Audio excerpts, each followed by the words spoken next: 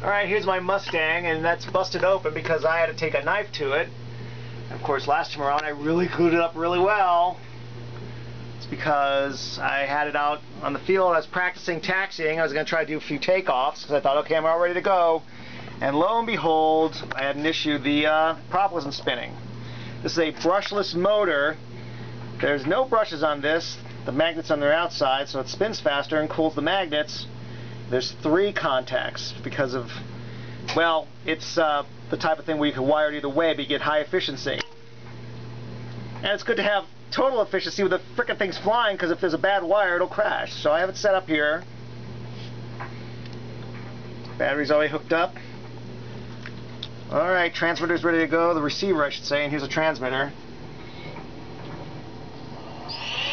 What's that? Alright, here we go.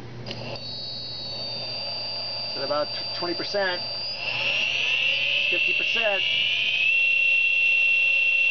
Well, aren't I special? Got the Hobby Center was going to sell me one of these for $27. I think I I figure out how to fix things because I'm just too cheap or too broke or a little of both.